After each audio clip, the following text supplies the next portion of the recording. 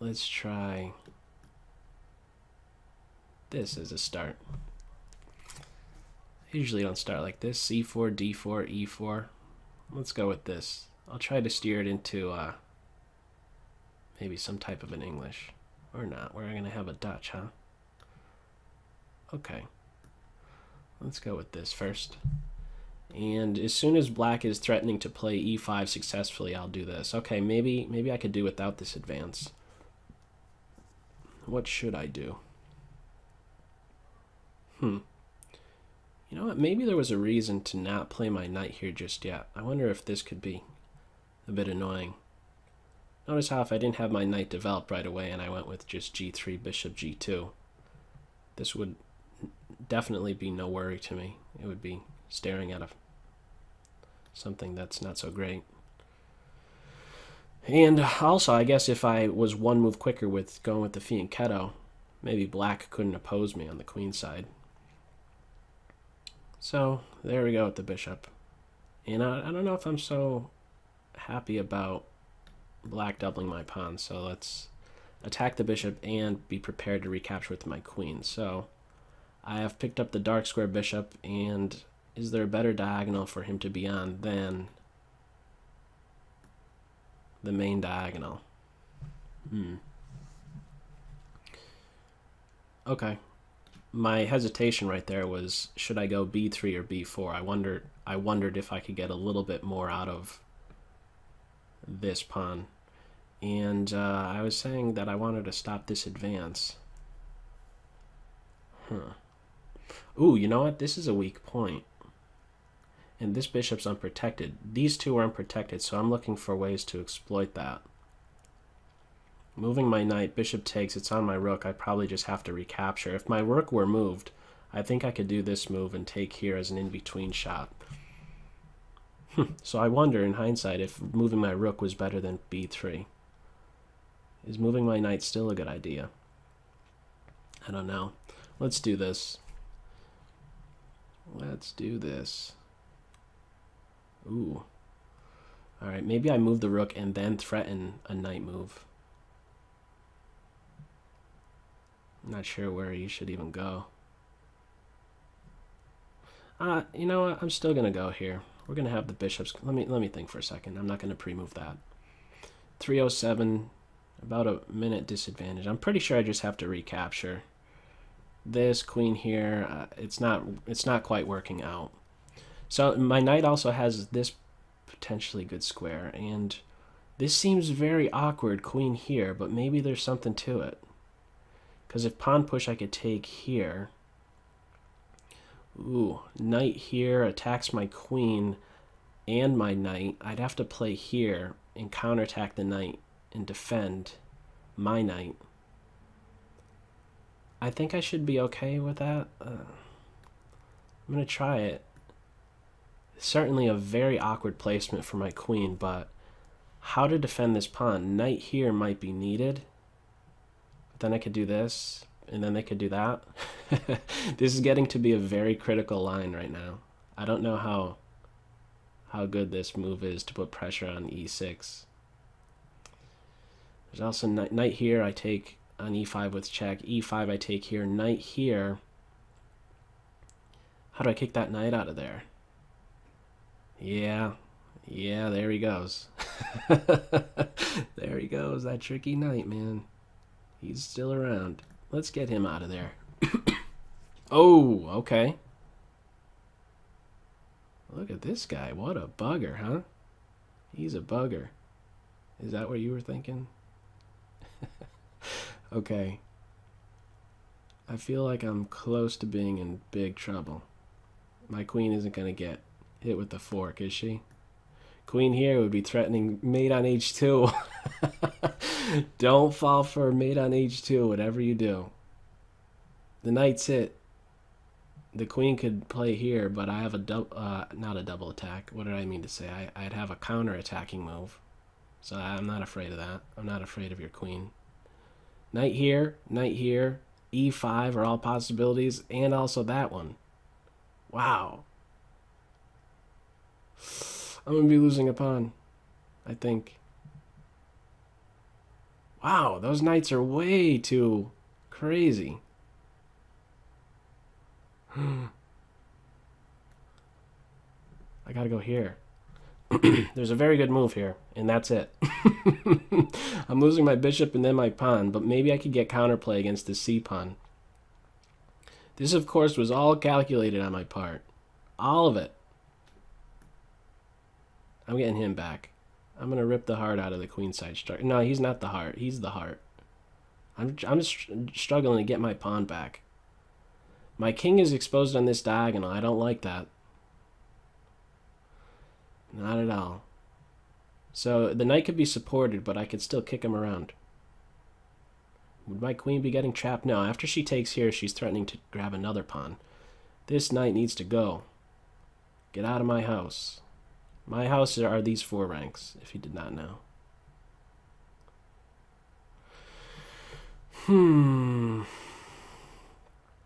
Pawn here? Could take... No, I'm, I'm getting the pawn back, I believe. I do have some concern about my king position. No, not anymore. Not not anymore since d5 is here. I don't have to worry as much. I'm not getting trapped. I'm on the knight. Okay. I think I have to take.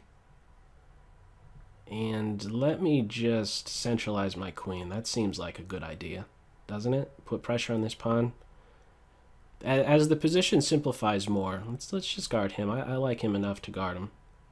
I, I don't think he's expendable. Maybe that was a better way to say it. Um, so as the position simplifies a bit more, I've noticed the queen on one of these four center squares tends to be a very, very good piece. Now, I think, oh, I'm not afraid of that discovered check. I'll just drop back. Or maybe consider this. Yeah, I'll just drop back. Or I don't know. I'm not sure. To be announced on that one. To be announced. I'm still not afraid. Should I be? My queen's not getting trapped. Pawn push. I could block now. But, um, I'm not going to do that. I think I'm fine where I'm at. And let's take, like, this. And hopefully there's not going to be a mate on h1. I should be much faster. Rook here.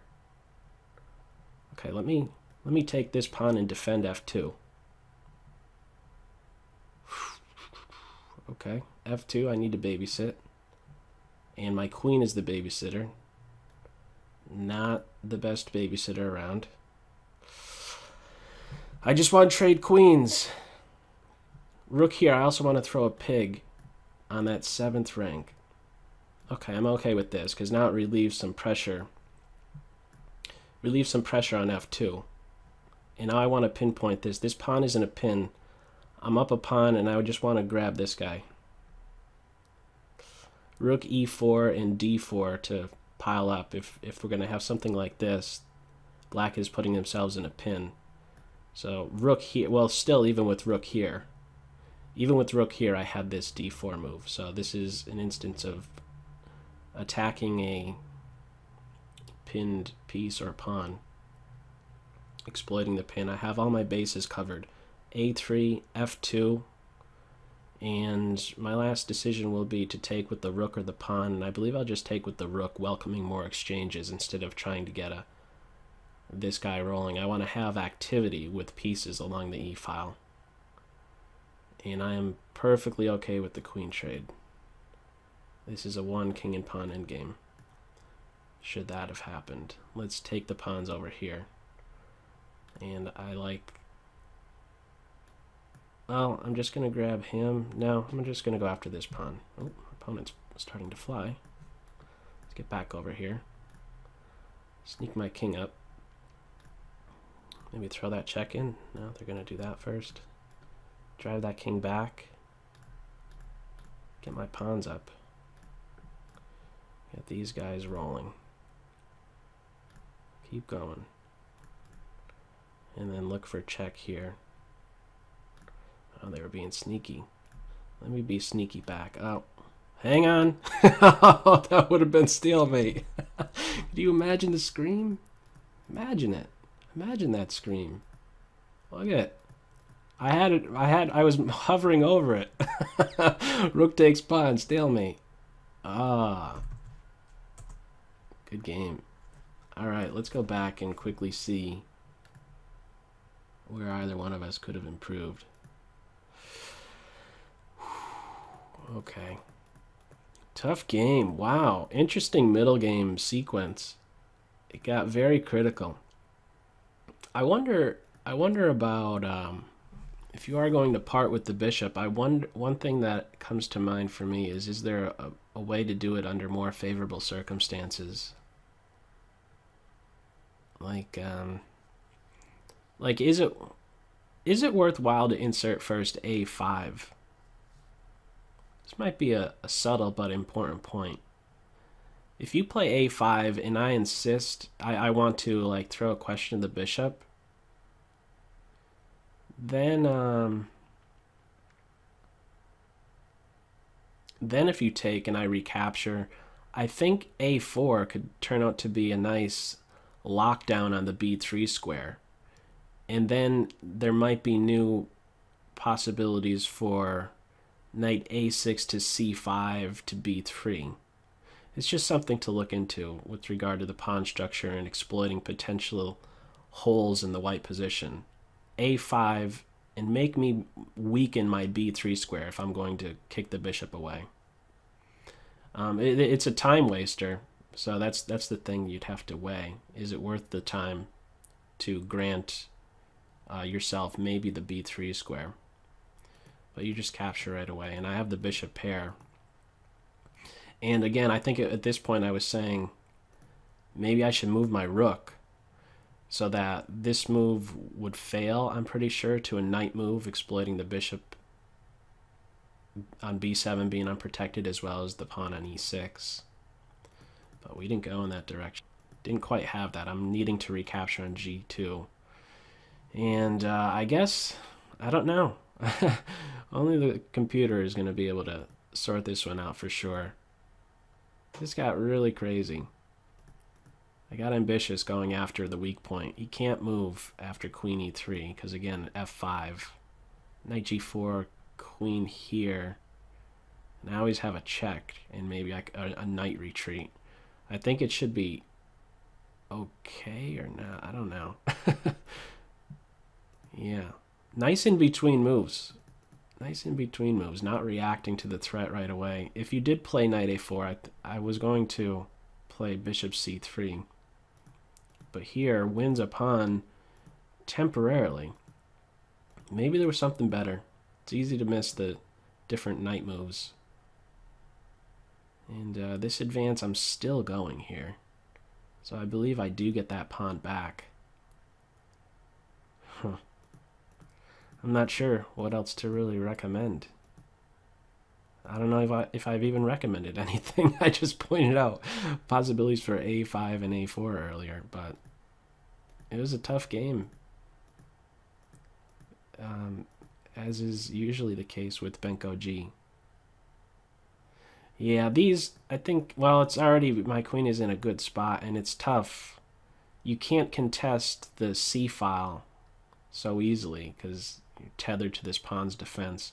I wonder if king f7 in this in this endgame where I think it's a lot clearer that I'm, I'm just better in, in this endgame because of my queen's strong position. I wonder if you can do something like king here. Have your king be the one who's responsible for watching e6 and then you have to try and get control over the c file or not get control but at least negate the influence I have over um, over the C file.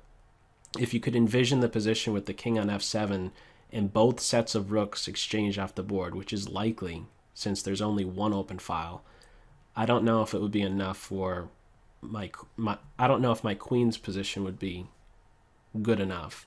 Your queen could always play to d7 and you're guarding your base points. Be a much more difficult struggle. Maybe maybe this is something. Although no no no, you can't do it right away. you can't do it right away because of rook c7. So there goes that idea. Maybe no, you can't even do it now. Maybe right now instead of queen b7, rook c8 at this moment, contest it right now and then think about rook here.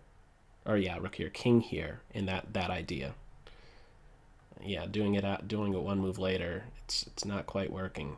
In fact, why didn't I play here right now? Oh man, look at the things I'm missing. Rook c2. How stupid.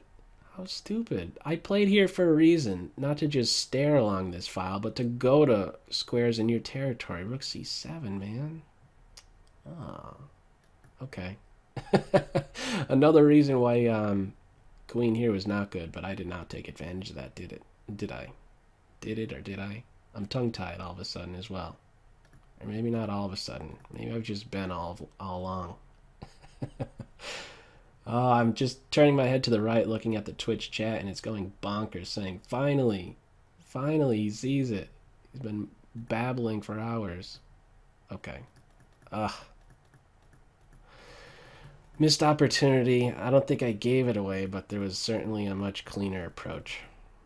The rook endgame is winning, winning, winning, and I'm glad to have not grabbed that pawn. I'm pretty sure I was hovering over it, just ready to unclick, followed by a scream.